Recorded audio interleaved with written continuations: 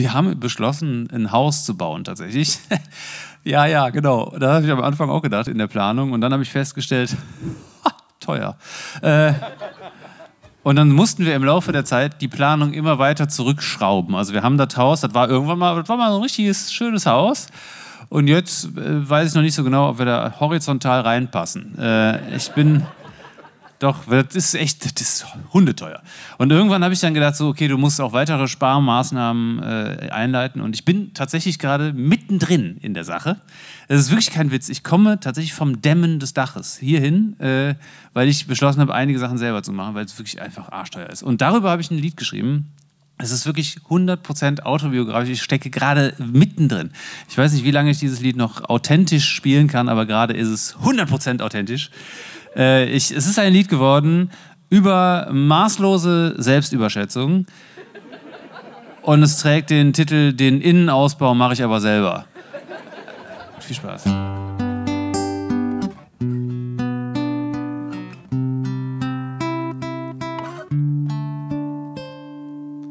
Letztens sprach ich wieder mal sehr ernst mit meiner Frau. Die beiden Kinder waren da schon im Bett. Und wir kamen zu dem Schluss, wir sollten lieber bauen, denn die Wohnungsmieten sind zu fett. Wir sprachen dann auch über Finanzierung, das Thema Eigenleistung stand im Raum. Sie meinte, ich sei nicht sehr versiert und handwerklich begabt wäre ich kaum. Ich gab dann auch schnell unumwunden nach, das Dach wird nur vom Fachmann eingedeckt. Den Rohbau machen selbstverständlich Profis und auch die Elektrik wird im besten Fall perfekt. Den Innenausbau mache ich aber selber. Das haben die Nachbarn, glaube ich, auch gemacht. Das Teppichmesser leih ich mir bei Feldhoffs. Ach, das wäre doch gelacht. Ja, den Innenausbau mache ich aber selber. Ich hab schon zwei Tutorials geschaut. Ab morgen wird gebaut. Ja, ab morgen wird gebaut. Ab morgen wird gebaut. Der Sven ist doch im Management bei Obi. Du wirst schon sehen, da sparen wir uns reich. Der gibt bestimmt Prozente auf den Boden. Dann bleibt vielleicht noch Kohle für einen Teich. Du meintest zwar, ich hätte zwei linke Hände. Aber hättest du mich damals mal gesehen in der Werken AG, in der Werken AG, in der Werken AG. Ich hatte eine 3. Plus den Innenausbau mache ich aber selber. Das haben die Nachbarn, glaube ich, auch gemacht. Das Teppichmesser leih ich mir bei Feldhaus. Ach, das wäre doch gelacht. Ja, den Innenausbau mache ich aber selber. Ich hab schon eine Maske für den Staub. Ab morgen wird gebaut, ja, ab morgen wird gebaut, ab morgen wird gebaut. Jetzt säbel ich hier schon seit knapp zwei Stunden mit dem Teppichmesser Blechgestänge ab. Auf YouTube habe ich dazu nichts gefunden, was man ohne Seitenschneider macht.